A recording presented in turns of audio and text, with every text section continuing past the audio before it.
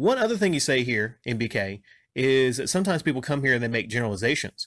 And one person said, one person said that I hated my life. Rick, you must hate your life. Why? Because criticism?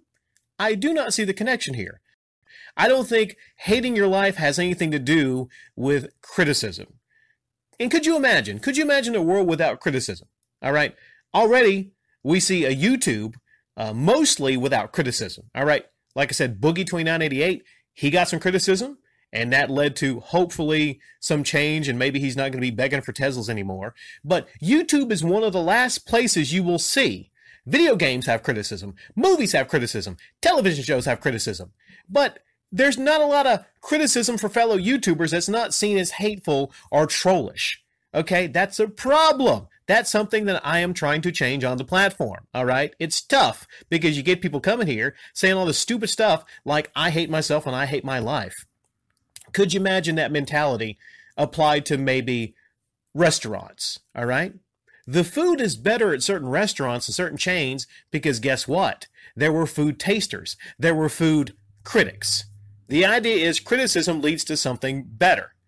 Okay? Cars, trucks are better now than they were decades ago. Well, probably not decades ago, but you know what I'm saying, maybe uh, last century, because of critics, because of test drivers, all right? Because of people trying to be critical of the car, its safety. Uh, cars are a lot, you know, safer. They have airbags now, right?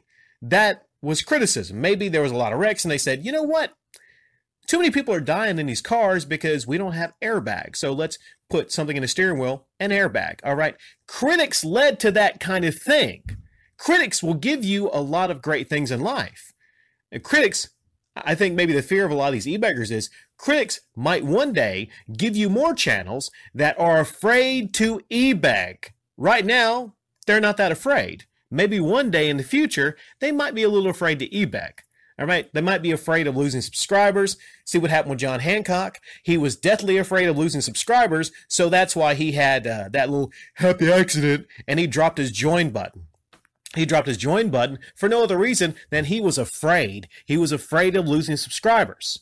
And I think YouTubers, I think YouTubers should be held accountable to criticism, just like movie makers, just like game makers, just like anyone in any industry doing anything. There's no difference. Plain and simple. That's what I think.